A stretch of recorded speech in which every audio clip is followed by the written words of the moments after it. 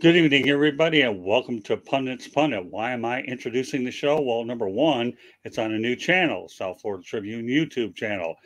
Pleased to be joined by Candy Ebling tonight. Good evening, Scott. George Eichhorn.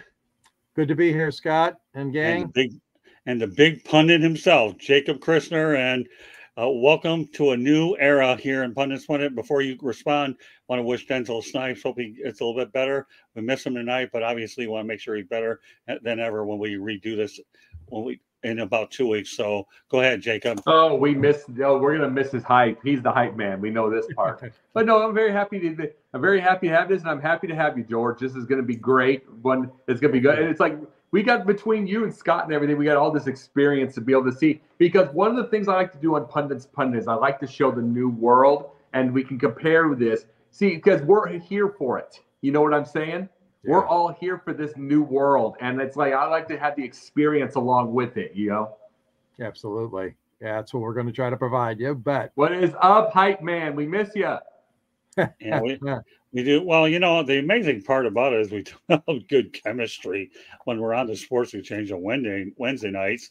And when we brought George on for basketballs, we certainly covered that era, era like a blanket. So yeah. now we have an opportunity to do it here on arguably your best show, your production, Pundits Pundit, which has always been a dream of yours. We know in the past that Jennifer Matthews Lewis has been a part of it. We're looking forward to hopefully having her on.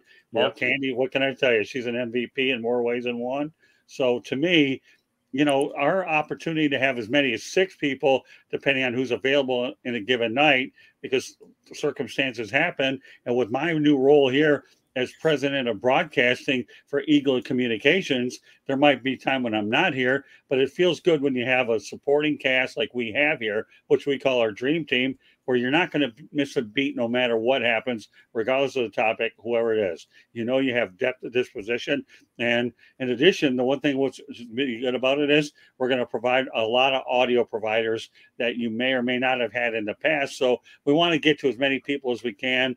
And that's our goal here. I mean, first of all, the show is first class because of the idea how you've done it, where you where you know you pretty much talk about everything and you're a very versatile show our goal here is just to try to make what you have just a, a bit better. Oh, and I appreciate it. And it's one of one of the things for anybody that has not seen because I've been on a different network, but it's one of the things about it with pundit is think about a i mean we wouldn't exactly have the production value obviously of the outside the lines but we are a little more advanced than they are our thought process our everything it is not it's not just to have politics to have anything it's just to have everything show the world it's the new world of sports. It's not just meathead stuff. It's not just stats.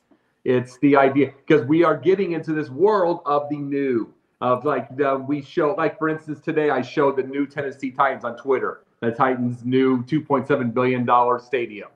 Bears will eventually have one. We're seeing these worlds that we had a couple of weeks ago. We had a subject on the it is I mean we had a subject on Sports Exchange on the end of inclement weather eventually in just football. And then all of a sudden, Tennessee shows theirs, and there are, there's another roof, or a, another roof, or another thing. That's just yep. the where life is going. And I love being able to show these type of things. Absolutely. Well, what's also good about this show too is I know every once in a while you've you've gotten out of sports here to go somewhere else. So hopefully, as we a lot of it is sports, there'll be a non-sports related topic that we tie in. Let alone with the experience that we have on this crew between George and I, you, Denzel, Candy, you know, and Jennifer when she gets on. But so you know, and that's what's good. I think the one thing I'm writing in my book now is you have to be very, very versatile. Is what you have to do. You cannot be a one-trick pony. And of all the shows that I looked at when I joined them on Sideline Sports, Basketballs is a good show because obviously George and I lived it, so it was easy to talk. But this one here is what I consider the a version of like 60 minutes 2020 outside the lines magazine format all rolled into one which, mm-hmm. which makes this a dynamite type of an idea and again you're the one who created the whole thing all we're looking to do is just make it better no it's it's the I always look at it this way before we get onto our first subject. One thing about it is I had an older dad, but he never acted old. And the whole thing was it was always looking forward at the next thing.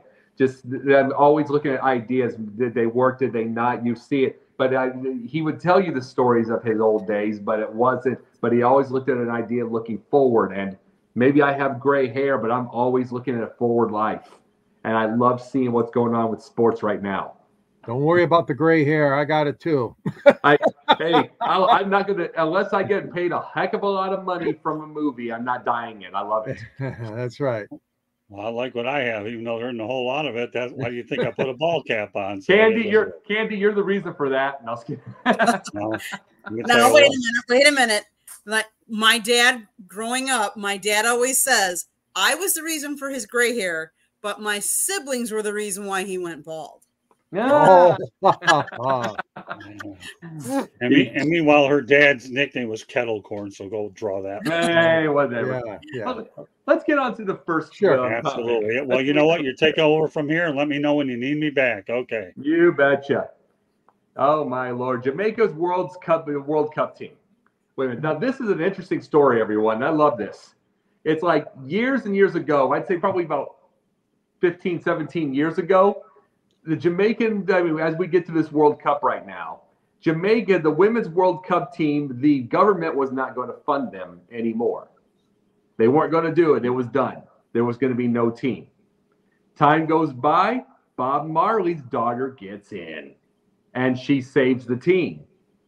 She saves the team and they get there. And as time goes on here, guess what? This in this type of year, in this year right now, they're in the uh, I don't know. It's like I don't think Jamaica's in there anymore. I don't think they got knocked out, didn't they? Yes, they, they did. did. They lost yeah. the other night knocked, too. Yeah. Yeah, they got knocked out. But you know something, they got that far into the knockout round. But here's the interesting part of the story. It's they were see they were back in because of Bob Marley's daughter, but the, the um, government still didn't want to fund them because they made the World Cup and they still didn't want to fund them. So the um, uh, soccer mom decides we're going to get in, do a GoFundMe, and fund their whole trip to the World Cup, their whole thing, food and everything. They made a pile of money and they get to the knockout round. So, see, this is the world that we see. This, this is the thing.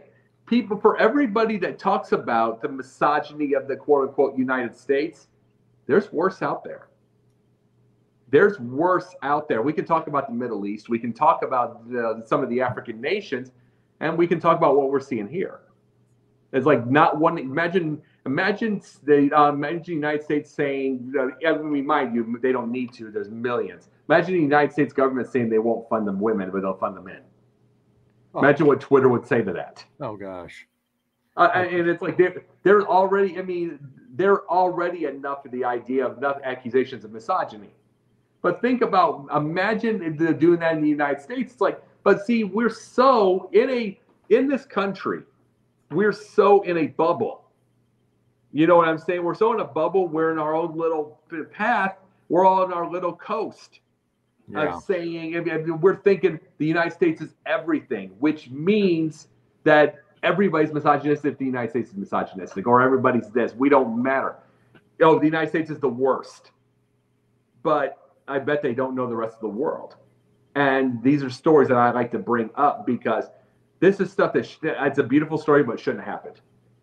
And I was going to ask this to you, Candy. What do you think? I was reading up a little bit about it, and I had never even heard that, about them. And it said that they failed to qualify in the 2007 World Cup, and that's when the government disbanded them. Was in 2008. In 2014, Bob and Rita Marley's eldest daughter was alarmed to know that Jamaican Soccer Federation had stopped funding the team completely. They want so they started funding it, which I think is just awesome because I think sports teaches you so many good qualities and not just I mean obviously it's healthy, it's good for activity, but it's a good camaraderie that you you gel together and you learn things together. And I, I think we here in the United States, we're, we're very fortunate because we still have all these. We have Title IX, we have women's sports. You know, we didn't always, but we do now. And we forget that other countries don't treat women the same way. And it's sad. It's sad. As me as a woman, like I'm so fortunate that I got to play sports, that I got to play whatever I wanted tennis, softball, um, any of those sports. Mm-hmm. You know, I'm I'm fortunate and I'm so happy to hear that somebody else stepped up to the plate and helped pay for them so they could have a team and they could have a sense of belonging to something other than just their family. Absolutely. And and I was going to say, George, I'm going to ask you a question. You can go on after it, but I was going to say, what odds do you think that we'll ever see? I'm not talking about soccer, obviously. There are very, very, there's so much wealth with that now. But as far as any other sport that a woman's team, you know, that there's going to be someone to do that in the United States or any other country, what do you think there's going to be more of that, or do you think that's a one-off? I'd like to think that there's going to be more of it. Um, you know, basketball is so popular all over the world. I mean, you know, they've done a great job, FIBA and the NBA and uh, USA Basketball. I would think that one, but this one really, really struck a raw nerve with me for just what Candy said. The fact mm. that there's several countries that are backwards. They won't allow the women to be athletic. They won't allow the women to form a team. And this was a great story. I'm so glad this is my first show with you guys. You picked a great topic. Um, you know, their nickname is the Reggae Girls, the Reggae Girls. And the fact that even as uh, Wayne here, Wayne Weinstein made a point that they only gave up one goal. Okay, let me read it there. A former high school player of mine played for them through Marley's daughter's time. They got eliminated, but gave up one total goal throughout this tournament. Thank you, Wayne.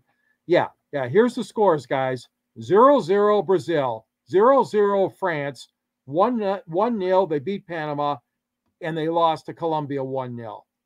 I mean, this is, this is, you know what this reminds me of, guys? Come on. The Jamaica bobsled team, remember at the Winter Olympics? Yep. And all the hoopla they created? Of course, that was all mm-hmm. men. But getting back to your point, I hope it does. You know, Jacob, I hope it does set a pace for other sports other than soccer. I mean, we all know, like Candy says, the United States has so many things. We take so much for granted on all these teams. We always have the largest number of Olympic athletes, eh, you know, obviously that are going to the to the summer and the and the and the winter games. But I mean, I'm telling you, I I would love to see breakthrough, breakthrough by the women in other sports around the world. Basketball. I mean, they already are they've already broken through. Obviously, tennis is a long time sport. That's an individual sport. Golf is an individual sport. But I would think basketball, hockey's come on, as you guys know, very strong around the world. And the U.S. learned a valuable lesson, guys. Uh, you can't take any of these teams for granted. You can't take any of those opponents for granted. And unfortunately, our girls did not even make the, uh, you know, the elimination round. Yeah. You know, the thing is, the the biggest thing is this is what happened. The, the thing, this is what people do not understand. I always see, I always bring this up with fans that when you act like I call it an emotional nitwit, and you get a, I call it that. When you go, when you act like an emotional nitwit in something as simple as sports, the politicians that are lunatics can slip right under the, the path. Yeah. And you want to know what go, and I'm just saying, oh, and I'm going to say it whether we like them or not or anything is irrelevant. This is the point. But a Donald Trump slips right under when you allow emotion because he lives off of it. And this is what I'm also saying is when you are forgetting about women's sports and you get that stuff, then you get the Lia Thomas stories, and you get those, and then it takes a Riley. Um, let's see. I'm sorry about the, the candy. Riley, uh, you know the swimmer. Uh, um. Yes. Uh, oh. no, I know. I it, it, it, it lost my it slipped my it slipped my thing for a second, but she'll get that in a second. But it's like, but it takes a girl to have to try to uh, to fight for women's sports. When we do things, Riley Gaines, thank you. Mm-hmm. It takes those things. It, women being successful in sports is not going to affect men. Men get 250 times the money always, everywhere. You know, the, the wages, the everything, they get easily 250 times the money, even with it. It's not going to hurt men. They're going to take a dime away from the men. For women to get theirs, it's not going to. This is what they're, whatever the worries are and stuff. Here's the thing like with the women's soccer team, I ain't fond of. Everybody knows this. I'm not fond of Megan Rapinoe, but she sure didn't hurt anything, like some people are trying to say. That team, that that team had two straight um, the World Cups, and they get to a knockout. And that's the thing with it is, yeah, they got equal, but it didn't. The thing was, they were the team that deserved equal. They were filling stadiums before the men were. The thing, this is my goal, my point of everything. If they fill stadiums, anybody, men, women, whatever, they deserve the money. Period. So women getting equal money, equal share, good. They deserved it. It wasn't like they were playing in front of 18 people. Right. They're the ones that got the things before that. And Jamaica, I mean, the, the, the governments are going to have to get off their, you know what, because guess what now? Girls are athletic. Girls are athletic. I mean, this is 2023. Yeah. Girls fight in UFC. They're not just like the cat fight either. They're fighting. They they shoot baskets like men do now.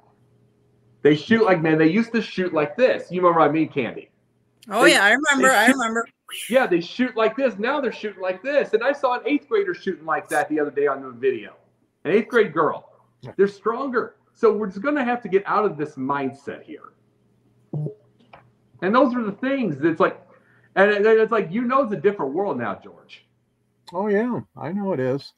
I'd be interested in knowing what Scott says, though. I know he's got to have an opinion on this. You know, I have to tell you, that's the longest I've been quiet in a while. So no, no, no, no. I didn't know if Scott was going to get. I didn't want to. I didn't want to um, throw it out. I thought I did, but it's like, go ahead, Scott. Sorry. I'm all right. No, no, no. Hey, listen, you're moderating, man. This is your. That's what's happening to be here. All right. Well, you know, it doesn't surprise me. A guy like Jeremy Bolrick would say, "I still miss a Lingerie football league." So, you know, with that, when you consider the nature of this guy, okay, no, it doesn't surprise me at all coming from him.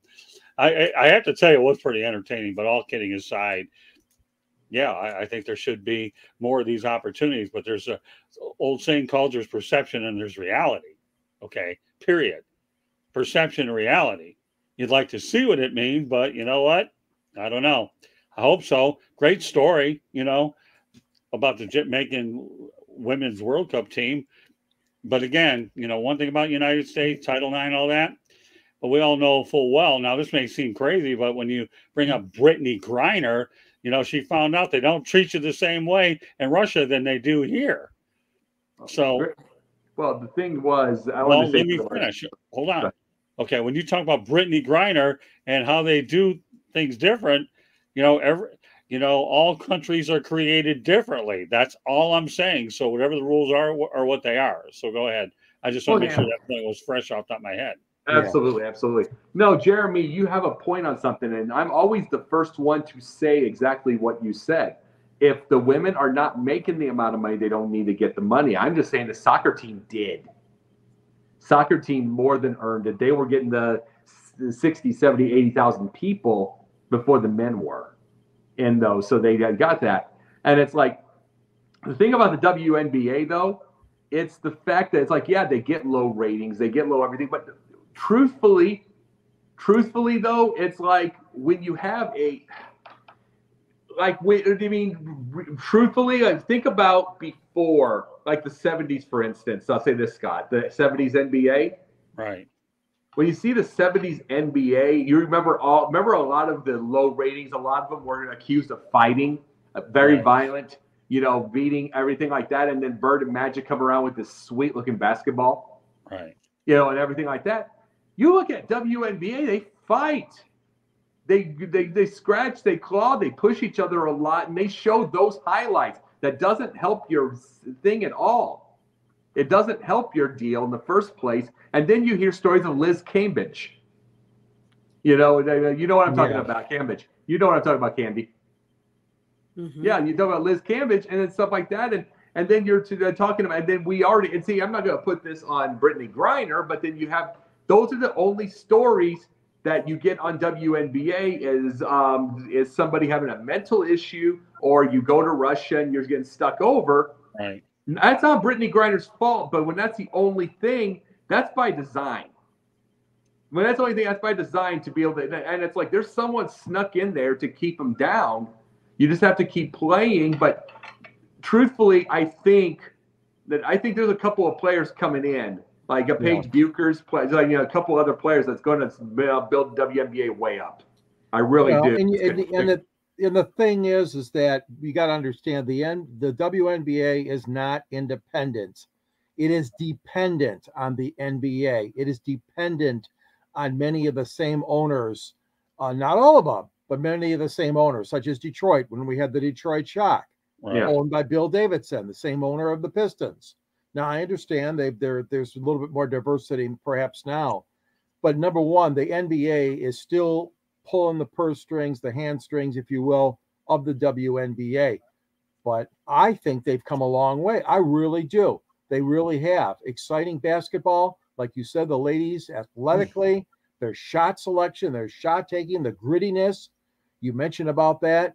Absolutely. Uh, you know, they're not going to back away from anybody in those games they play. So well, let me yeah. Let me add one thing to it. Before the WNBA came into play, for the women, the end of the line was college basketball unless they played overseas. So now that you have the WNBA, you know, now they have an opportunity to take their amateurism and turn it into professionalism. Uh, again, I don't talk about the overseas. I'm just talking about the other things that led to it and the development of women's sports. So go ahead, George. I, I just you mentioned something. No, no, I, I, I, pretty much just wanted to rest my case there. The the problem I have too is there are not enough WNBA teams. You know, and I go Detroit. Okay, so they determined they couldn't support them anymore. Okay, fine, but you know you, they've got to get to a point where uh, there are more opportunities for the women in the WNBA. There are more opportunities for franchises. That's all I'm saying because now we're seeing more of a more explosion, if you will, of interest in women's athletics and women's sports. So that's all I was going to wrap up with. No, you well, did fine. I just want to make sure I got that point in. Go ahead, chicken. Well, no, the, the thing is, this is where I'm at. If WNBA feels confident just go up to the go up to Adam Silver and say we want to separate from you, go on our own. I'm I'm not doing it to end the WNBA. I don't have that mindset. Right. I'm not doing. I'm saying you want to you want to have the guts. You want to go Rocky Balboa, Sylvester Stallone, go for it all. you want to go for it all, do it. Because yeah. you might you might just get to that level or you might go but constantly sticking in with the NBA is just a loss leader for them. It's all it is. It really is. There's a li- limited thing to it. You're just constantly sticking to the, the, to the big brother who's destroying you numbers wise, and then you're getting to this thing. Separate. No, I don't want them to go away. I'm not going to say it based off that. I want women. I want girls, little girls, to dream too. I'm I'm, I mean, just like Greta Gerwig just got a billion dollars for Barbie. Good for her because little girls can dream to do this now. But I'm saying, go, go Rocky Balboa, go Sylvester Stallone at 76, go all the way when you had 17 cents in your bank account. Go all the way. You might have, you, you might go down, but you're not going it. You've gone as far as you're going to go with the NBA helping you. Yeah, I agree. Okay. Yeah, I was going to say we got a number we've got a number two going on here. We got the good second thing. This is a great start of topic, I'll tell you. Oh yeah, I love this. It's like, and what do they have? And what do they have in common besides Brady kicking the crap out of Tebow in the playoffs? what do they have in common? Well, here's this. Tim Tebow now owns a the minor league hockey team in Lake Tahoe. In Lake Tahoe, which is hilarious he that the, the Mr. Christian goes to Nevada. Which that definitely need that definitely needs to be a cartoon somewhere. Just to yeah. see go to Las Vegas, you know, blessing them all. You know, you know, but he goes into Nevada. He's in Lake Tahoe, and he, he's taken over. He's got himself, I believe, it's a minority share. Then, second of all, there is a second tier league there's Tom Brady, a second tier soccer league. He's going the way of Ryan Reynolds. That did what he did with Wrexham, and he's got the second tier league in the, I think it's Birmingham. And these are the things right now that we're seeing. You remember how we talked about Moses Malone on, um, let's see, on Basket Bros. Right. We talked about uh, Moses Malone and Basket Bros. He his knees were gone by year 11, and he plays 21. Just by the end, by the end, he's at five minutes a game and two points a game. This yeah. isn't that world anymore. I mean, remember the, the athletics are completely different. Everything's completely different. Tom Brady ended his career in the playoffs and still over 4,000 yards. He could have ended his career at 5,000 yards when he didn't leave, but that could have been 5,000 yards ending your career like this. This is the new world we live. And Tebow could have easily just been bitter after the way that they treated him in the NFL. But all he's done is help create a couple of movies. He's got some restaurants, and now he's having ownership in teams.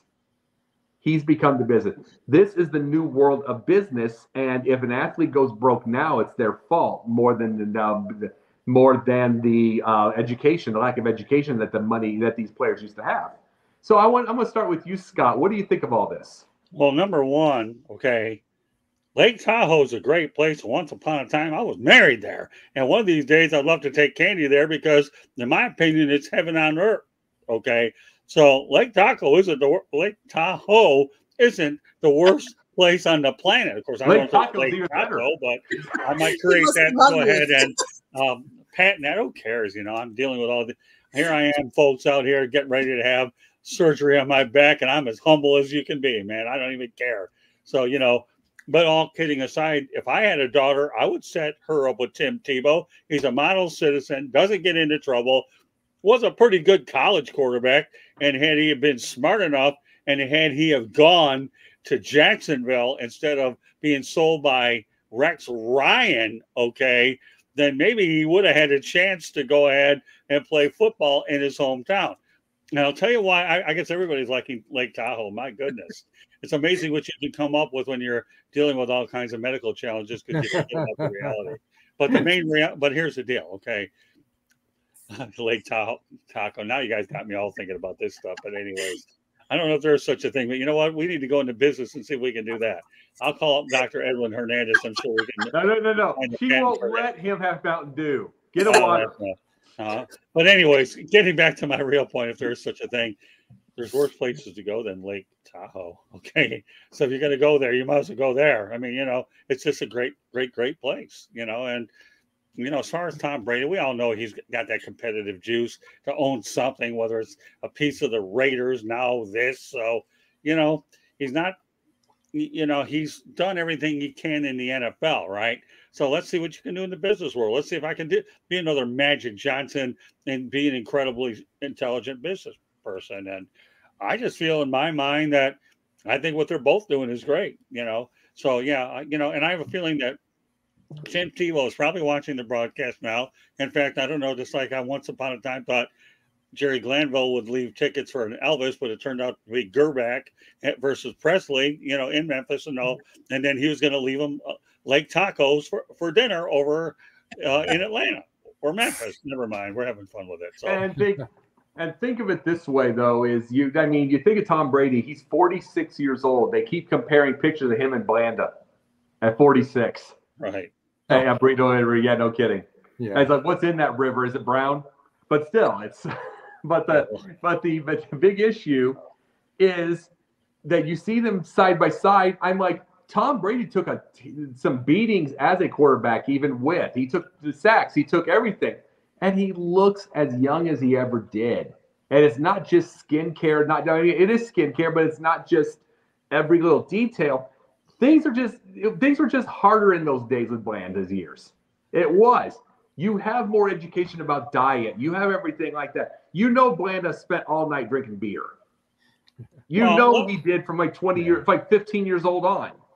Let me mention one thing that we should be, really, really be aware of here, and that's this. Okay, Tom Brady has a television job coming up pretty soon, mm-hmm. so you might as well mess around during this other season of freedom because when you have to go out there and broadcast, and you're expected to be paid a lot of money to do a lot, might as well take that year off and go ahead and invest into these things. And of course, maybe Tom is listening. Lake Taco. that's okay. Well, yeah, and, well, and that Brown River you're talking about. I'm sorry, now you got me on a roll. Okay, yeah. at least it's not the Nile River.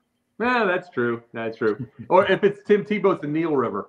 But the um, but right. the thing is, but the but the biggest thing is you get Brady, and I've been saying this about Brady, big time. We can't we cannot re, we cannot forget for any stretch of the imagination that he was had that 350 million dollar uh, contract by anything but people wondered why he didn't go right away and i have to remind people i got acting training you understand you guys have got tv training you know you tv whether you've been on interviews or whatever i've got this kind of thing tom brady being interviewed for two minutes on your thing doesn't give you acting tv training there's a lot to this. You know he's taking. I don't care what they're saying right now. Oh, he's going to get started. I guarantee he's taking training in this type of thing with his um, with his video, with being on camera, on screen, what kind of makeup you're going to get, all that. You're getting all that. He's probably got he's probably got one on ones with Stephen A. Who knows? You know, it'll teach you how to what to do when the red light is on. See, timing. It's all timing. It's all that kind of stuff. So guess what? If he never did it, this is the type of stuff you do. He, he knows business. He's already got his Brady clothing line. So he's got that. So there's those things. And Tebow, the, overall, I think both those two are going to be billionaires when it's over. When it's over, it's not a question. Well, I don't know about that, but um, you know, there's been a long history of athletes owning teams. Come on, guys. Mario Lemieux, the Penguins. Marshawn Lynch, the Seattle Kraken, Michael Jordan, the Charlotte Hornets, uh, Oscar De La Hoya, the uh, Houston Dynamo, David Beckham, Inter Miami. Mm-hmm. I mean, the list goes on and on. Magic Johnson, the Dodgers. This is nothing surprising to me, and I think it's good for the sports because the more you can involve your your stars, or some of these weren't big big stars, maybe, but more of the stars that want to get back in and give back to the game or another sport that they really loved. Brady obviously loves soccer. Okay, if he's getting hooked up with Birmingham, England, and and the football club over there, good for him. Uh, Tebow hockey. I mean, I never thought about that either, but you know, my gosh, maybe he loved the ponds. Maybe we, maybe when he was growing up, we don't know the whole story. I didn't read the whole story, but uh, Timmy might have loved the uh, uh, hockey when he was growing up or as a kid, or went to a lot of games even in uh, you know high school or college. So I think it's great. I, I mean, I would never want to exclude any former athlete from trying to become an owner if the numbers work. The numbers, the ownership numbers, the shares, the amount of money that they have to put in. I don't want any favoritism, guys, with these guys. No, you know, they should be treated every other with the same way you and I are treated if we wanted to lay out that kind of money you know, I know they got a bigger name than us, and obviously there's a little bit of that going on. But all that being said, I think it's good for sports, and some of them are crossing over into other sports. I love it. I think that's great, and I really, really think that um, you know, hopefully they'll make something of this. Uh, we we've had guys in Detroit. Uh, most of them have owned bars, I guess. Chris Chelios went into the restaurant bar business. Unfortunately, he closed down uh, both his Detroit and Dearborn, Michigan bars and uh, so that that wasn't too good, uh, or sold them off. Uh, you know, and we've had other guys that have gone into that too. Eddie, Eddie Giacomin, the former goalie. so, you all right? Yeah. Yeah, great comment by Denzel Snipes. So Disney presents Tebow Mania on Ice. Oh gosh. Yeah, no, I, I know it'd be awesome. I love it. I, I love, I'll tell you this, and you're right, George, and I like that thing. But you know what I like? I love athletes over just simply businessmen do, buying these because we brought this up with a topic last week. You know what I was talking about, Scott? The idea of um, you know the comparison between it's a comparison between the American and European owners and profit and profit share. You know the idea of profit, and that's what Americans are, which talking you're talking to somebody who is a capitalist minded person but i'm also competitive. And i want to win and i love the idea of i love a marshawn lynch going for it. He's got a super bowl ring you know what i'm saying? Yeah he's got a ring. I love athletes going for it when especially when they have rings they're they're more likely to make the moves to try this i like i would love a i would love andre dawson to be a billionaire and go after it you know what i'm saying i would love for the cubs it's like these are guys that have won all their lives in some which way. It, it's like this isn't just a yeah, you might lose money and everything like that, but if if Florida, for instance, won If Florida, eh, for instance, won, remember with Huizenga, remember that they sold off. If Florida oh, yeah. won with a um, with like Dan Marino owning it, they're gonna just do it again. That's what I'm saying. Even if they lost money, because the, these are guys that have done what. That's what athletes do. They want to win. They're thinking they're like the European uh, side of like the Man United. They want to win. Competitiveness, exactly. That burning right. desire to win. Yep, and yep. that's that thing right there. And Candy, what do you think of this? Forbes estimated that Brady roughly got paid $525 million over his 23 year career. 333 million from playing contracts and 200 million from his endeavors off the field. That's a lot of money. What do you do with all that money? I know he's got kids. I know he's got an ex-wife and all that. You have to put it someplace. What not why not what's better mm-hmm. than resurrecting this club in Birmingham FC is almost bankrupt they said. They're not they're not good. They have they've lost money the last couple of years. What that'll do for that club, not only the money he invests, but just his name alone investing will bring others to that and bring more revenue in because he's such a big name. And let's face it, what else is he supposed to do? Is he supposed to invest in some businesses here in the United States? And I'm not saying you can't, but sports has been his life. Right. So sports is a great avenue for him to it's invest. In, ingrained, yeah. Yep. Exactly.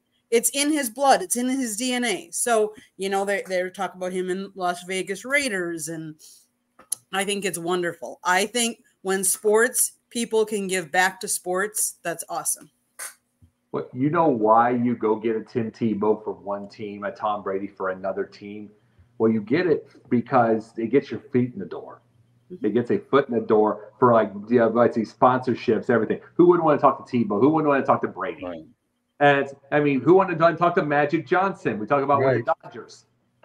Who would no? Let's say a, let's say you know, Miami did it with with David Beckham, and now look at we have Lionel Messi, and like who all else we have now. I mean, well, that's what you do. Well, there's the whole. The, here's the deal there's the whole um, rumor of the commanders going back to Redskins if they want to do that. I mean, even Magic Johnson's brought it up.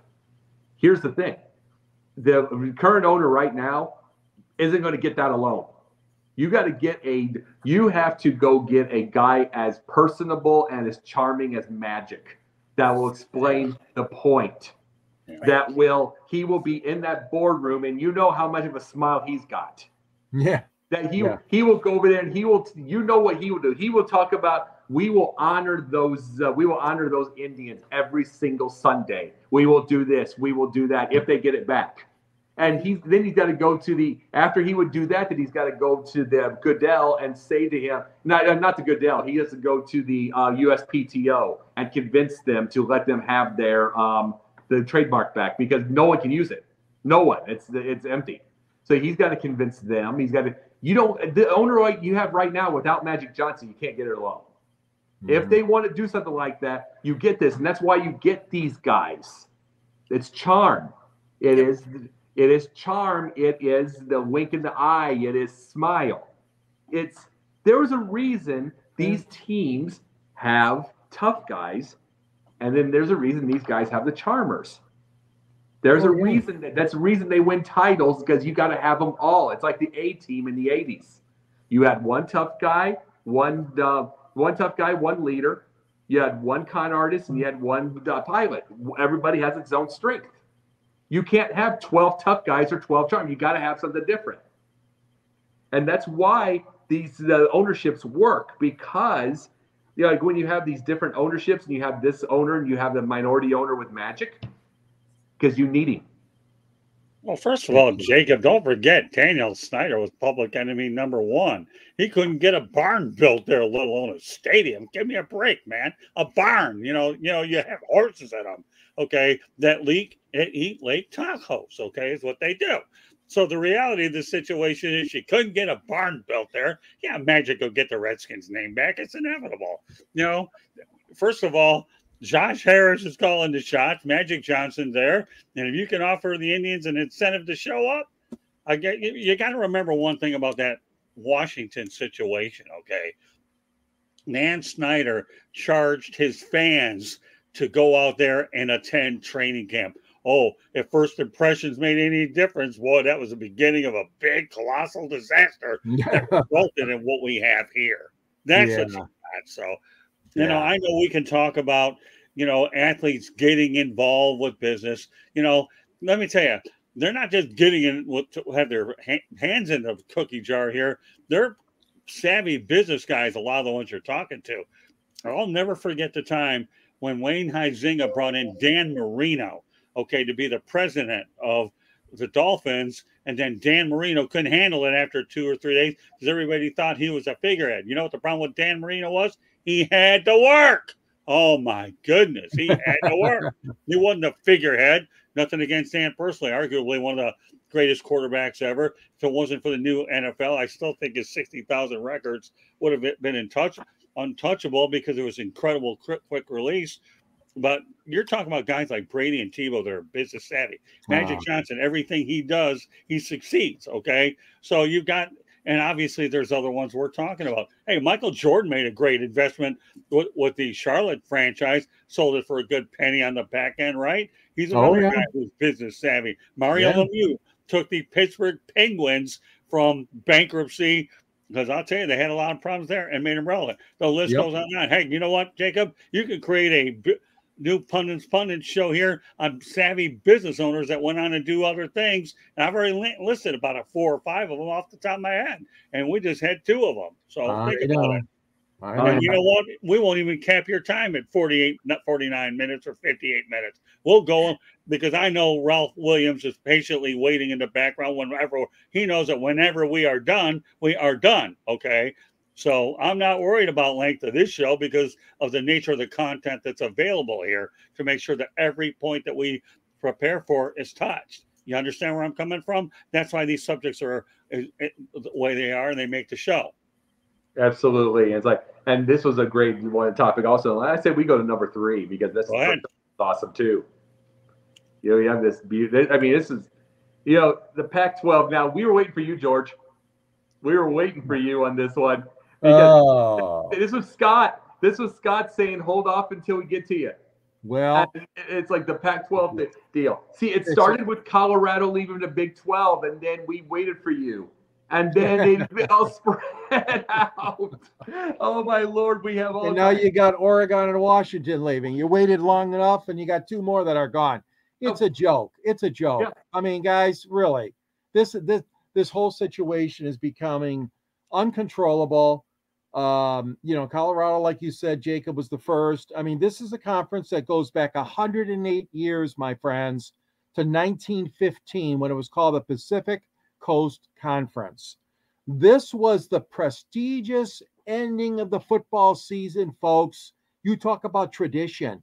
One of the teams from the cold Midwest playing one of the teams from the Pac 10 or whatever it was called yeah. back then, Pacific Coast, in the Rose Bowl, NBC. All the country was watching the number one game of the day on New Year's Day, the Rose Bowl. I mean, come on the, the, they had the uh, they had the American public mesmerized and and rightfully so. It was a matchup that was made in heaven that teams dreamed of that you worked towards. Whether your name was Bo Schembechler, Woody Hayes, or uh, uh, Terry Donahue, or anybody else. I mean, you know, you as a coach, that was the epitome of coaching excellence to be able to take your squad. George Perles won a won a Rose Bowl with Michigan State University Spartans. Nobody expected that. I mean, this whole thing now with the Pac-12, it's a money grab. Let's face it, it's a money grab. The networks are just all there to lay it out. Hey, come and get it, guys. But they don't think of the ramifications. They don't think about the other sports, the women's softball, the men's baseball, the swimming and diving teams, and all the expense that's going to be you know, what you really should have done, okay? If you really wanted to do this the right way, you would have just done football. Let the other conferences exist for all the other sports. Have your little football thing, but they won't do it because there's so much money involved in it. They won't do that. The universities won't peel that away because they know that that's the revenue generating sport among a couple others, baseball and basketball possibly. But all I'm saying is that yeah, the Pac-12, this guy George, I'm afraid he's got my name. Okay, Kliavkoff, he's a dumpcuff. He's a dumpcuff to me. This commissioner that was installed July 1st, 2021, done a terrible job. Couldn't keep the couldn't keep the uh, the teams all in all in check. Um, but again, you know, thanks for waiting for me on that. I'm anxious to hear what all you say. And my thing is, I can say this part, and you're correct on all those things. We remember the Rose Bowl. It was beautiful. It was a, a wonderful thing. We're going to miss that. I mean, the Rose Bowl as we know it. But here's the here's the thing. Also, Pac-10, Pac-12, we'll call it that now. Yeah, Pac-12 yeah. absolutely, positively, um, they underestimated the amount of competitiveness in these other leagues. They every it's like Kevin Warren before he went to the Bears gets this giant TV deal for the Big Ten. Right. The B1G. I don't even call it Big Ten because it's probably closer to 18 now. but but it's like for the B1G, he gets a giant deal. SEC gets their own deal with ESPN, huge deals. Pac Pac 12 starts bragging that they got this deal with Apple Apple TV, like and they have like a couple of games of the week or whatever. And it's like that is equivalent of an old man that uh, found a iPod and tries to get it to the kids and say, uh, "See, I'm in the."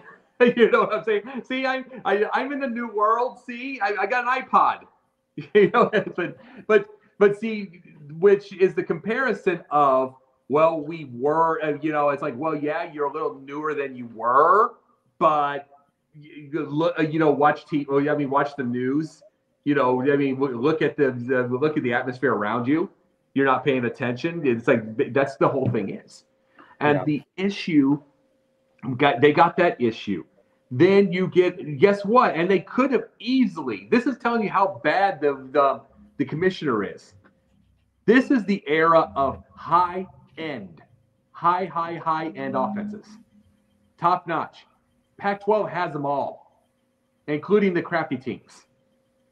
But you and and then the Big Ten, big the big B1G, they have some miserable offenses, including Iowa, which that that is not true. That can't even be true. It's so bad.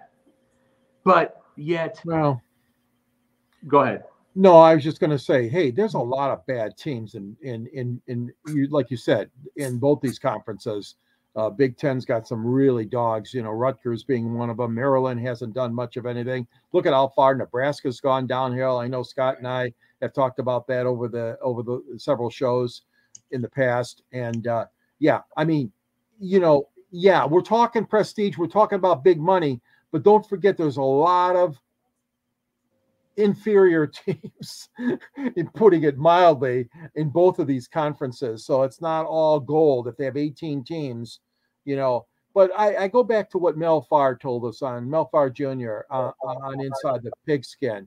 You know, they don't care about tradition. You know, here's a guy that, that that played for one of these schools, and how hard how hard it is for him to accept. It hurts him. It hurts him to the core because of what ha- what is happening, and to see this happen, especially with the USC and UCLA exodus, that started, you know, several a year or two ago. But that you know, this whole thing just just stinks. I'm sorry. Well, no, no, there's nothing to be sorry about. And it's like, think of this part. These people that get hired in these boardrooms now, like let's say they, they commission everything like that. These fans that would love these jobs. I would just say with the Bears, they weren't around for 85. Mm-hmm. None of them were born. Most of them weren't born till 93. So they weren't around for 85. They weren't around for the years of the Rose Bowl. We just talked about this on the pre- uh, professor and the pupil there, Scott. Got to do a little bit of a plug. Right. We talked about this on the thing. Michigan's going to lose their uh, all-time, um, their all-time, the 1919, um, the what was it, 1919 or something? Their pool hall. Right. They're going to lose that to make a media center. This is where we should be seen. This is what uh, Pac-12 should have seen the, the writing on the wall as far as competition and it's like you can't just go get an Apple um, an Apple TV deal and when everybody's getting these gigantic ones. And same with Notre Dame. Notre Dame, which I have been I have been saying over and over and over and over and over. Everybody's been hearing me. So they've been they've been living up that 1988 NBC deal and keep extending it. They need to get they need to get themselves a real deal. They were the one because they're so proud that they were first, but they're going to be last and dead if they're not careful because everybody's just blowing you by now. And yep. and as far as you saying, I'll get to use candy in a minute. I'm sorry, I go overboard here. But the thing is, we we have to see what is now, now, and what is going to be forever. We're not going to have our Rose Bowl as we know it. We're not going to have these as we know it. Players leave after two years. It's not four years. It's not play. It's not you. It's not USC versus or let's see UCLA versus Michigan or whatever it was. You know what I'm saying? It's not those games where you're seeing three years of Harbaugh. Right. You know, I mean, I'm not saying it was three years of Harbaugh, but you get my point. It's not that anymore. It's two years and you go to the NFL. It's going to be a one and done soon. So, and it, and NIL is going to be allowed in the first place. And now I've gone on like crazy. Candy, you go ahead. I'm so sorry. tradition? What's tradition? Tradition. Has, tradition. Tradition. exactly. But who has it anymore? Fiddler on the roof. Exactly. Yep. But but who has it anymore? I mean, tradition was in baseball the there was DH in the American League, but the pitcher's batted in the National League, but that's no longer anymore. That tradition's gone. You know, they had tradition of playing in the World Series. I mean, they've played with that and like, well, who like if the winner of the All-Star game did this, then we did this and or that. We changed tradition. And unfortunately, the college scene is NIL has had a big impact on changing the college scene as we know it. And we all know that the sport that really drives college is going to be football and basketball. My question is is going to be all those other sports like softball, like swimming, like some of those not as big sports, how this is going to affect them.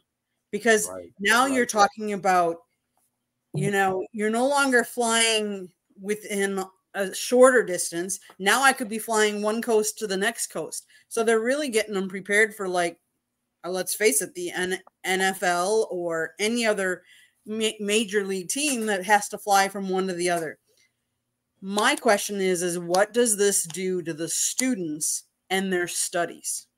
And yes, some a lot, a lot of people say, oh well, they study on their phone, they can study on computer, internet, or any. But how much do you really absorb when you're studying? Some people maybe they absorb a lot, but I know a lot of people like hands-on, like that that instructor in front of them to be able to count. Right. So, what is this going to do for that? That's exactly. part of my question. I mean, do I think it's going to Pac 12 is going to survive? No, I don't think there's going to have to be at some point like all of them together or they're going to have to figure something else out like they're going to have to have like divisions like the NFL oh you are in this division and you're in this division instead of you know this Pac-12 Big 10 they're going to have to figure something out but NIL and money is driving it and you know something and before I was going to get to you Scott in a second I was I like I was bringing it up with Pack. How bad do you have to be? And yes, definitely, Ralph. How bad do you have to be as a commissioner when your teams, even the bad ones, Arizona's and all them, have a top-notch offense in an offensive world, and it's the defense, mostly defensive teams of the big B1G kicking the crap out of you in business ideas.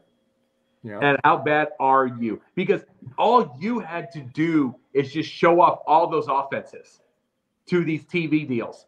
I mean, you got to realize the Bears get laughed at because they still don't have a 4,000 yard um, quarterback ever in an era where there was 11 of them last year. So this this is an offensive world, and and Pac-12 blew it. Unfortunately, and I would because I'm going to miss the Rose Bowl, but that was that. And I was going to ask you, Scott.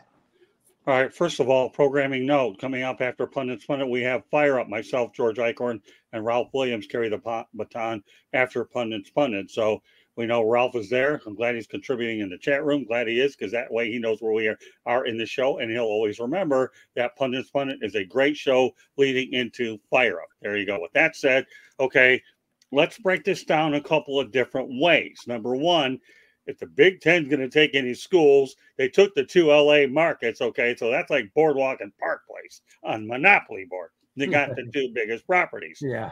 If you want the next biggest properties, okay, which would be Pacific and the rest of them, let's just add Oregon and let's add Washington. Let's add Phil Knight's Nike money and let's add Seattle. Okay.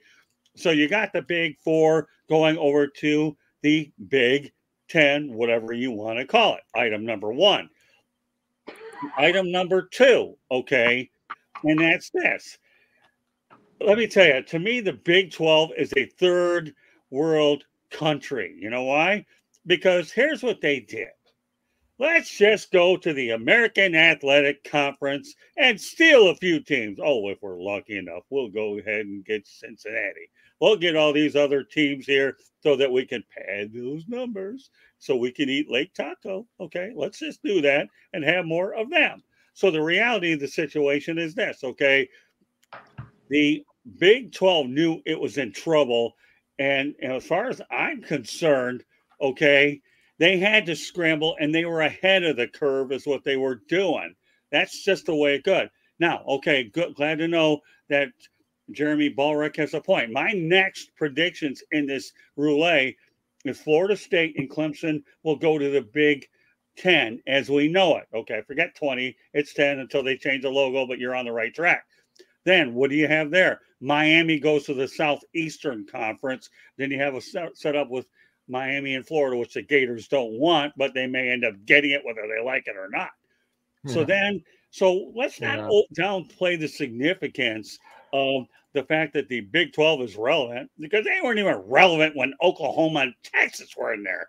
You tell me how relevant they were, okay? And now here the for the Oregon coach is saying, let's talk about Colorado going to the Big 12. Oh yeah, we got Deion Sanders, we got Shedeur Sanders, okay? We got we don't. The only Sanders we don't have is Colonel Sanders, for God's sake. So and they don't have Barry Sanders either. And him. But here's the point. Okay, the Oregon coach makes a point. Okay, that you know what, Colorado never won anything in the Pac-12. So you might as well go back to your old roots and go back to the Big 12. You won't say that they don't have a conference title because they do have them, right? And the Big 12. So let's not overplay the significance of how great the Big 12 is. Because in the end, you still have a two horse race. You had the Big 10, which is a far better moneymaker than the SEC, which is probably maybe a distant second. And then you have the rest of them. Yeah. So where so where does the Pac 12 get their people from? Well, if they are in business, because they still have another year to shake this whole thing out yet. Okay, not everybody's jumping ship tomorrow. If let's just say the Pac 12, they could go to San Diego State. If they want to, they could get SMU. They can start to find out what big markets are left and try to get them. And all of a sudden, you add a few more here and there. Boise State is out there. So there are, listen, you have over like 120 some odd big schools out there. You might be able to put together six or eight of them. It's not like this conference is falling apart tomorrow it has the makings of falling apart tomorrow. So, and I know one guy that I met over at the Conference USA Championship uh, when FAU played named Merton Hanks. Okay. Mm-hmm. Merton Hanks to me is a shrewd business person. Okay. So don't, as much as everybody out here in La La Land, no, we're not talking about LA, La La La La La Lake Taco Land, okay, is out there. Okay. Don't sell this conference short. You still, you know, and you know, I personally think that if Cal and Stanford wind up anywhere, they're not going to the ACC. They're going to the Big 10, 20, 30, whatever you want to call it. Okay. Or they'll stay put. Now, I don't have any sympathy for Patrick Chun at Washington State because of what he did to my pal Mike Jarvis. Okay. I've got no problem with that. But the main thing is, okay, and I believe in my mind that I'm not saying that this conference is dead. I'm not. So all you people that want to put it dead before you're buried, okay, don't do it. I don't believe it. I just don't. So take off all the Colonel Sanders chicken that you want, okay? But the reality of the situation is the Big Ten got the best four in the Pac 12. They did. I don't care about the rest of them that are going anywhere. Doesn't matter. You got Nike, you got Seattle, you got LA, uno, dos, okay? You got the Trojans and you got the Bruins. And guess what? You get the Orange Bowl Stadium playing at least, or Rose Bowl Stadium. So you still got the Rose Bowl, just not these, not the game. By the way, good point, Denzel. They would be no question. I personally, I wanted that. I wanted um, Deion to stay in the, the HBCU because they're obviously being forgotten like crazy, like I expected in the first place.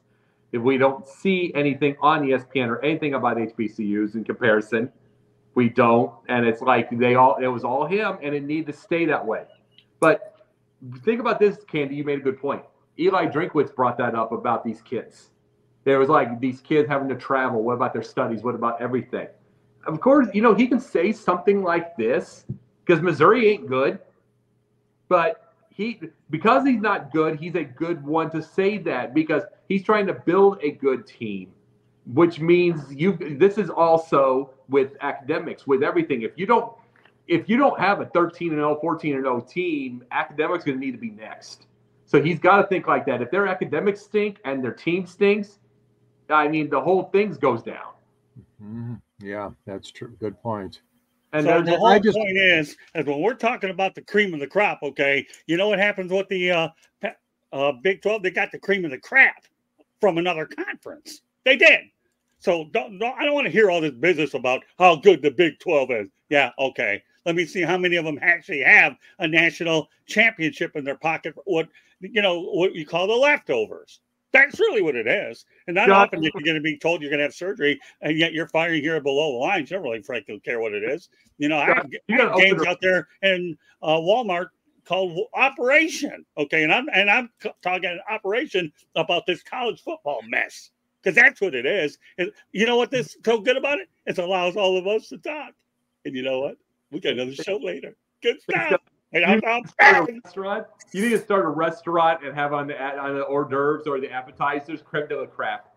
Yeah, there you go. Oh, sure. Hey, listen, my, Dr. Edwin Hernandez, you know, my partner over at Eagle Communications is always out there looking for business opportunity. Why do you think he brought me to handle the, the media side or media side? Don't yeah. worry. When you meet this guy, he's a classic. He can work with me. Most people can't. But he's a good guy. I love him. Let's see. Well, the classes during the football season are allowed them to do two online classes while the season drags on. but but but number let's get to the fourth one because I know we've gone to this thing, but it's a, there's another. Oh, anytime you get an opportunity like me, the Motor City Madmouth, living up to the name, well, it's probably worth the entertainment value. and for all you folks out there, please subscribe to our channel. We got one more show that we added to the list, and this is a dandy. Make, make Madmouth great again with your red hat. That's it. There you go. No, HBO Max. The reason this is a topic is because they are now fighting. This is not just getting um, Sopranos and getting all these movies, like live movies, and getting Entourage and getting all these other shots. This isn't that, and, and getting Bill Maher. This isn't just like a, a bunch of archives anymore. HBO Max is working on, and it's basically called Max now it's working on getting live streaming sports. They are working toward that, getting ideas with that. And think about this. We have Apple TV. They have one night a week of baseball, which we're going to see more than one night a week soon, and you know that. We've got that. The I mean, the Cubs. They are not a. The Cubs are not a. Um, they don't have WGN anymore. They don't have a streaming network, but they've got Marquee, their own network. The Cubs have that.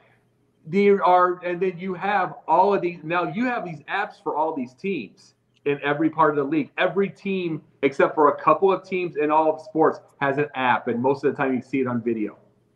See the highlights, see everything. We are not going to see terrestrial television much anymore. We're not going to see that in the next 10 years, not much. We might still see it with the NFL, and that might be the last straw to drop.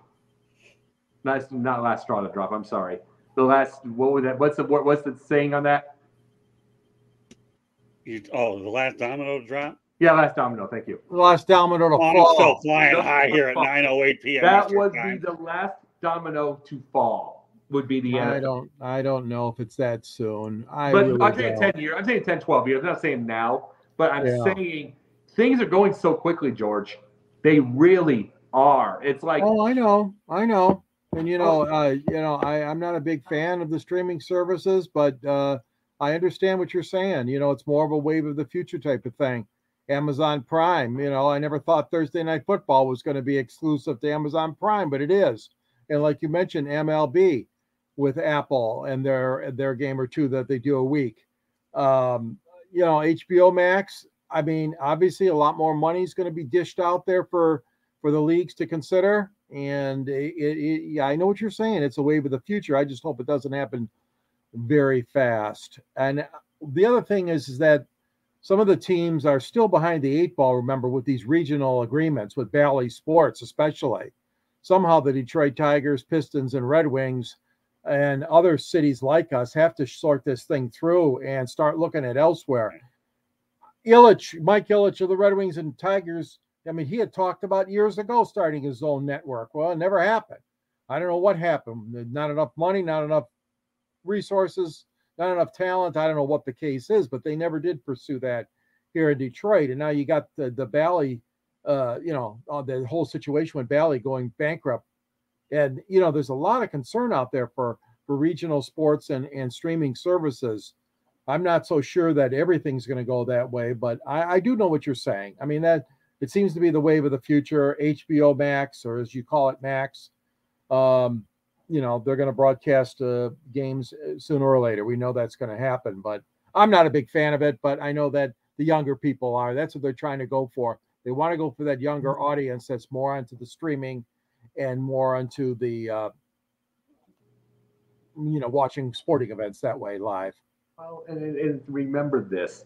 I had a buddy of mine who had a he was an old buddy of mine from school who reminded me of something a couple of years ago.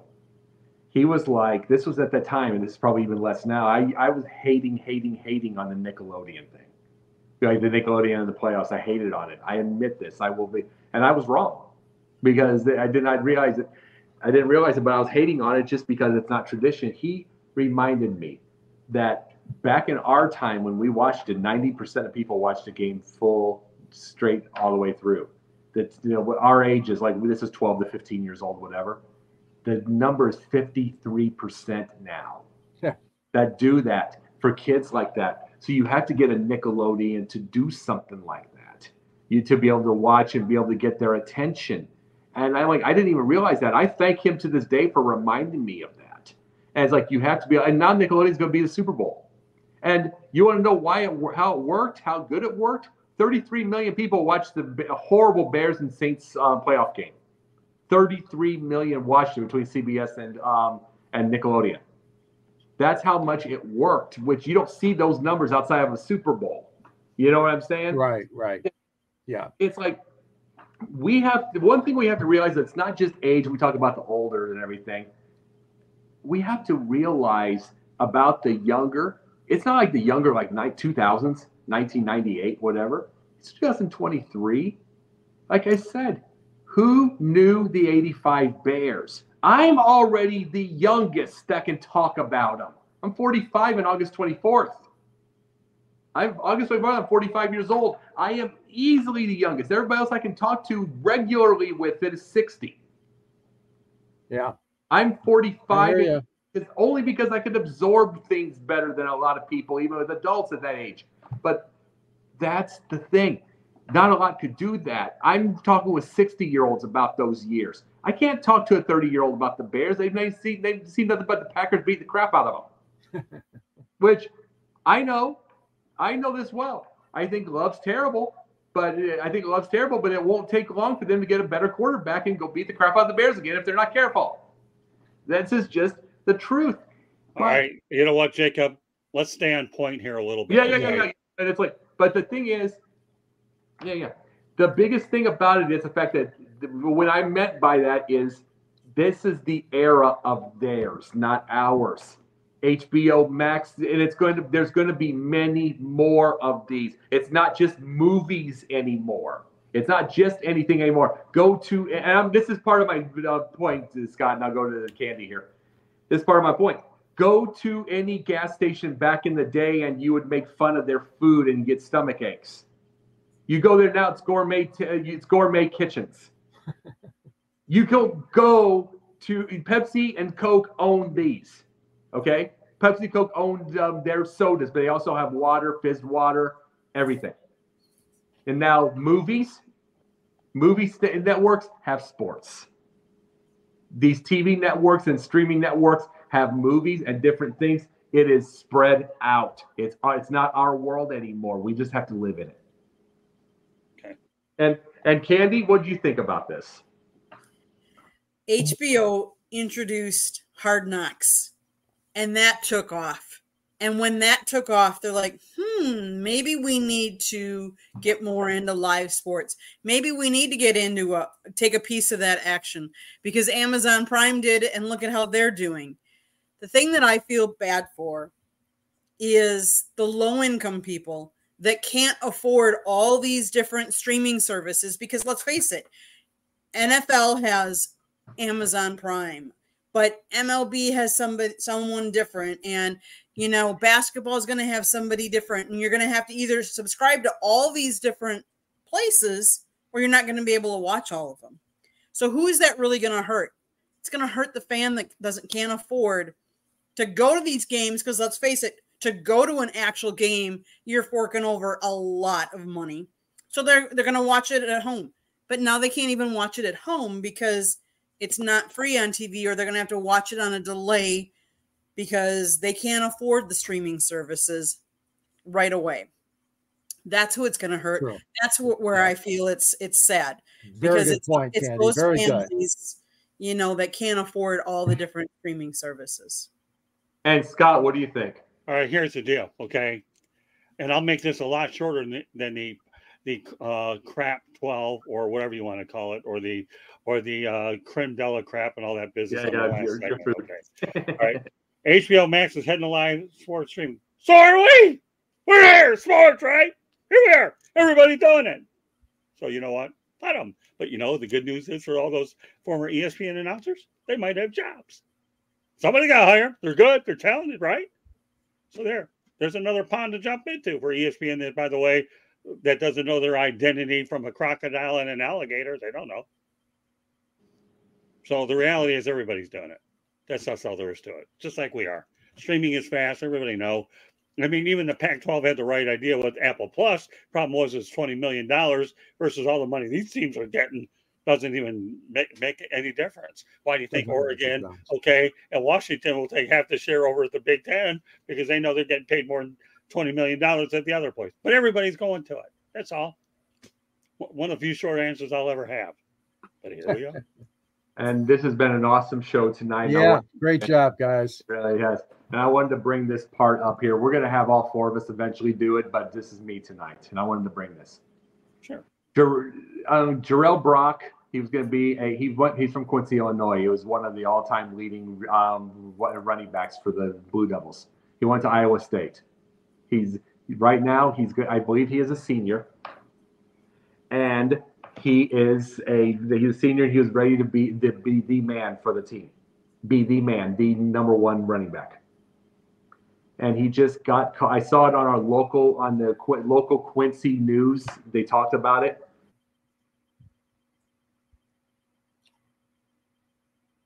Oh no. And Jacob? Yeah, yeah, yeah. Okay, I got it, got it. No, he got go. caught with an NCAA deal with the with gambling, with a gambling problem. He got caught with that. He was using, I believe, his girlfriend's name to go gamble, which is also a tax thing because if you win, you have your winnings, you get taxed. It is a tax problem. He is in a lot of trouble. And this is what I have to bring up to people. This is the thing about NIL.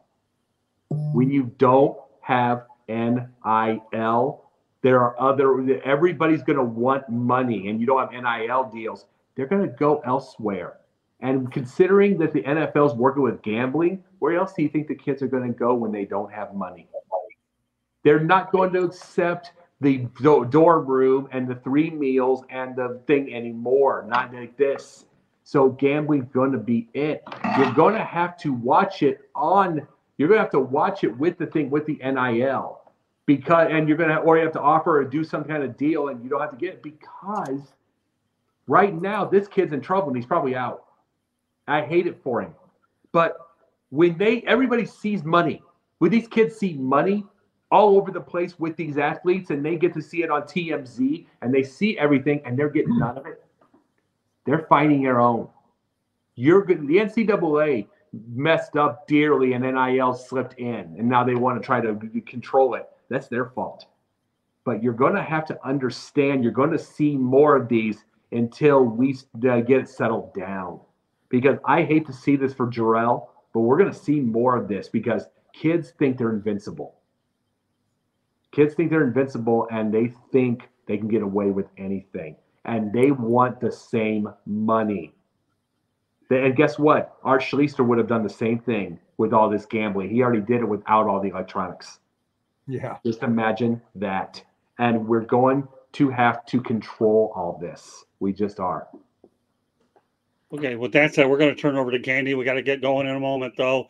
But before, uh, great first act, and one of the reasons I wanted it to go a little bit longer, Jacob, because it is your first show here on our network and want to make sure that everybody knows that this is the type of show with the type of subjects you have that you can have some very, very explosive ones. I definitely know that our first act lived up to every bit of that based on the topics that you prepared ahead.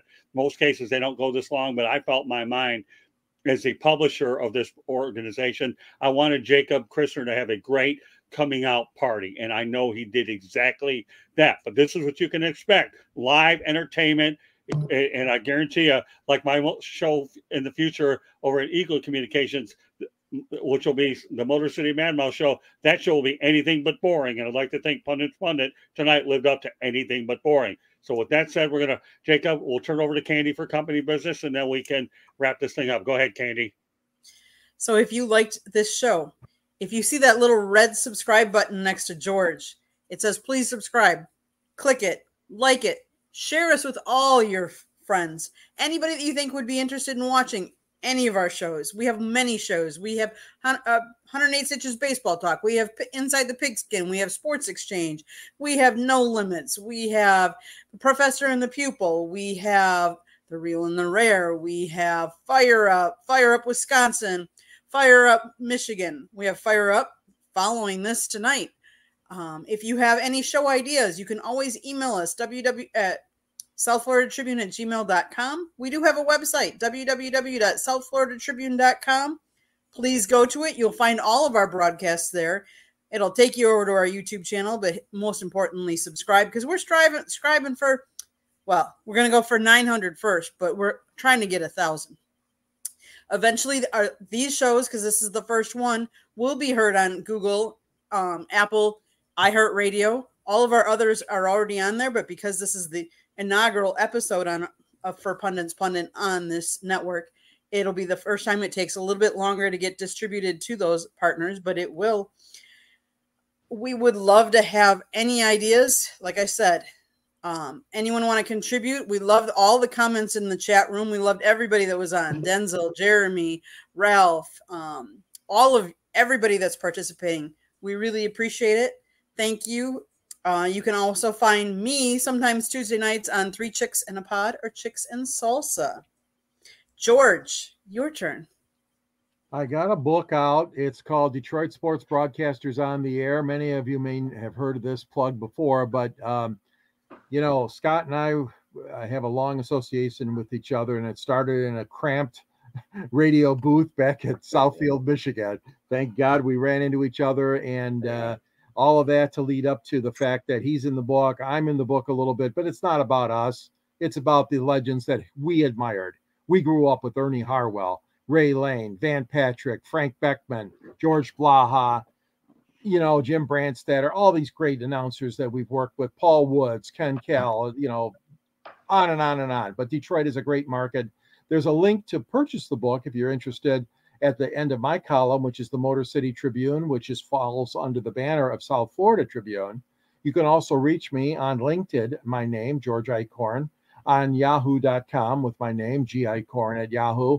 And also, you can find me on Twitter, which is now called X, at SandGSports99. And um, I'm honored and pleased to be part of this show. I got to tell you guys, this has been so much fun, and what a great show you've got, Jacob. And uh, I'm we're proud you're on our network now. That's great. And I appreciate it. And I've waited. I I took way too dang long tonight, and I apologize, Scott. Apologize, George. I took too long. I that's me. I do that sometimes. But I'm just going to say this quick. Jake the pundit at Twitter, X, whatever the heck that is. Um, the, Jake the Pundit won the TikTok, which is growing by about 150 to 100 a day, but people in the last week. So I'm starting to build people finally on that one. And I am also all these shows from Sideline Sports and here uh, the, between Monday and Sunday. Let me just add one thing as we wrap this puppy up here. Number one, every time I bring on a new show, the first show is usually a lot longer, and then everything falls into form time wise. So I, I, don't worry about that kind of stuff. No apology necessary, and I won't accept one that isn't necessary. Anyways, the first show is a way to get your feet wet. The second show, we pare it down a little bit to make sure everything falls into form. But this is a great show. And when the opportunity came to bring it over to our side, Sideline did an unbelievably awesome job with it. We're just glad it happened to work out where George could participate on Thursday. And I know, Ralph Williams, that you're out there paying attention, but this is going to be the great lead in show to our show afterwards on Thursday, which is why I made the decision to bring on Pundits Fun in advance of yours. I know, Ralph, you understand it. And I know our buddy Mark Mancini does too. And the and the one thing about old media, you always want a good show to lead into another one. If you don't believe me, what, tell me why the uh, great shows are there before the local news. And those of you that figure it out, well, I have a book coming. TBD will release the details when it comes out. Any closing thoughts? I just I said my closing thought. I yep. appreciate everybody, George. Appreciate you. Candy did awesome. We are we're gonna this this thing's gonna get better and better. No question about it. Denzel, we're counting on big things for you. And guess what? We're going to give you a two week break because I'll be in Motown out there, uh, w- w- being the Motor City Madmouth in the Motor City. Okay, got it. Help anybody that gets in my way there. I haven't really spent much time in there in a couple of years. So I'll let the Mo- Motor City Madmouth out of the bag with my beautiful hats that my other half was nice enough to invest into me. Thank you, Candy. You're welcome. Thanks for letting me be a part of this inaugural show uh, episode on the South Florida Tribune Network. No problem. Thanks. We'll see Jen. We'll see Jen eventually too. It's going to be oh, great. Oh yeah. Oh yeah. Don't worry. I'm going to get her butt over here. Oh, Good. Sure I have no doubt about your determination. well, George, good night, everybody. I'll see you on fire up on the other end. Thank you. You bet. Thank you. Good Thanks, night, everybody.